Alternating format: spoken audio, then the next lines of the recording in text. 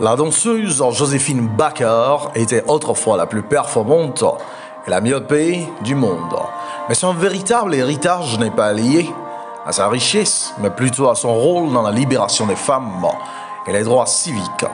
Elle a été forcée de travailler à un jeune âge après que la maison familiale de Saint-Louis a été incendiée lors des meutes ethniques en 1917, alors que Joséphine avait 11 ans. À peine deux ans plus tard, Joséphine a fait ses premiers pas courageux vers une carrière de danseuse de scène. Elle a commencé à New York puis s'est installée à Paris. Le style vif et libéral de Joséphine a été largement applaudi et honoré en France, où elle est devenue citoyenne française. Avec l'occupation de la France par les nazis en 1940, Joséphine a vécu une double vie.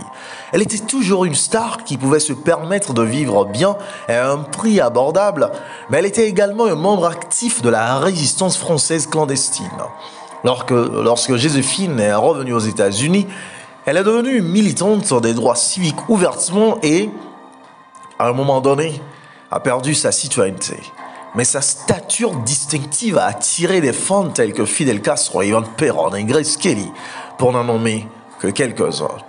Eh bien, dans sa vie, nous pouvons voir euh, une parallèle avec la vie d'Esther. Esclave dans un pays où elle et son oncle étaient exilés, ou même déportés, je dirais. Mais son oncle fut élevé, où il travailla dans le palais royal, et donc il encouragea Esther à une destinée glorieuse. Nous apprendrons de la vie d'Esther dix leçons. La vie d'Esther nous montre combien il est important de pouvoir aussi avoir un courage, un courage de ses convictions, un courage pour lutter pour les autres, un courage pour remplir le rôle que Dieu nous a appelés à remplir. Et bien sûr, dans la vie d'Esther, nous pouvons voir qu'elle a eu le courage de se lever face à l'adversité. Et nous verrons que ce courage a été essentiel pour réussir. Esther a surmonté la peur et s'est levée pour intercéder en faveur de son peuple. Non seulement cela, mais Esther a fait quelque chose de plus important. Elle a une préparation, une planification minutieuse. Ce sont des clés de succès. Vous savez, Esther s'est préparée soigneusement avant de plaider devant le roi, démontrant l'importance de la prévoyance. Nous voyons aussi l'importance des relations stratégiques.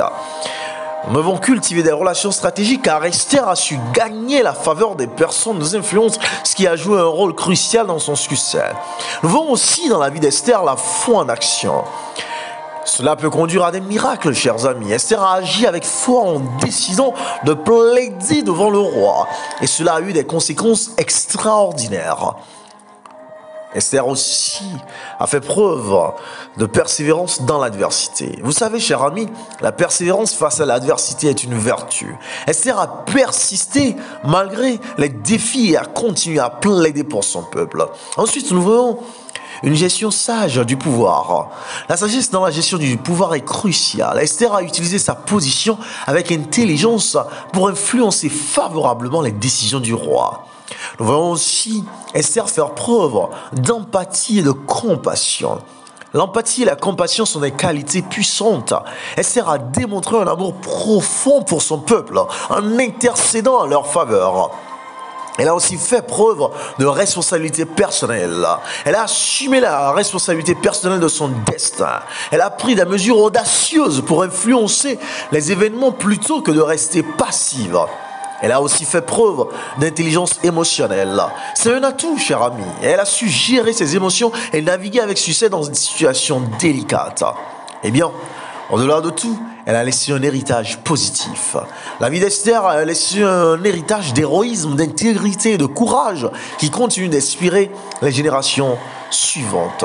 Vous savez, il ne s'agit pas seulement d'Esther, il s'agit aussi de vous. Avoir le courage de se lever contre le mal est une qualité noble et inspirante. Et voici donc dix clés avec lesquelles vous pouvez ouvrir les portes de la réussite. D'abord, l'importance de l'intégrité. Vous savez, l'intégrité est la fondation du courage. En vous tenant fermement à vos principes. Vous établissez une base solide pour vous lever contre le mal. Dans la vie de Becker et d'Esther, nous voyons cette démonstration. Ensuite, vous devez faire preuve de puissante conscience. Chers amis, est-ce que votre conscience est guidée par ainsi par l'Éternel Lorsque vous percevez le mal, la voix intérieure animé par l'Esprit Saint, sanctifié par l'Esprit Saint, dont vous êtes le temple, peut guider vos actions vers des choix justes et courageux. Ensuite, vous devez assumer la responsabilité personnelle de combattre le mal. Chacun a le pouvoir d'influencer positivement son environnement en prenant des mesures courageuses. Quatrième clé, c'est que vous devez chercher la solidarité et le soutien. Vous n'êtes pas seul dans votre combat contre le mal. Créez des alliances pour renforcer votre position. Ensuite, vous devez avoir une politique de tolérance zéro pour l'injustice. Adopter une tolérance zéro pour l'injustice. Refuser de rester indifférent face à des actions malveillantes et agissez pour les rectifier. Sixièmement, devez faire preuve d'empathie. Cultivez l'empathie envers les victimes. Comprenez la souffrance des autres. Renforcez votre détermination de cette manière pour vous lever contre le mal. Septième leçon, vous devez faire preuve d'un leadership éthique. Un leadership éthique est puissant, savez-vous Guider les autres vers des actions positives en montrant l'exemple d'un comportement éthique et courageux. Ensuite, faites preuve de résilience en dépit des obstacles. Soyez résilient face aux défis. Le combat contre le mal peut être difficile, mais la persévérance est essentielle pour obtenir des résultats positifs. Et avant-dernière clé, levez-vous, cher ami, contre le mal. Cela transformera votre vie profondément. Le courage peut façonner votre caractère et renforcer votre intégrité. Et comme dernière clé, l'héritage de l'inspiration. Votre courage laisse un héritage d'inspiration. Les actions courageuses ont un impact durable. Elles peuvent motiver les autres à suivre votre exemple. Vous êtes la solution au problème de votre génération. Vous êtes le remède contre les maux de votre nation. Vous êtes l'envoyé de Dieu pour un meilleur avenir.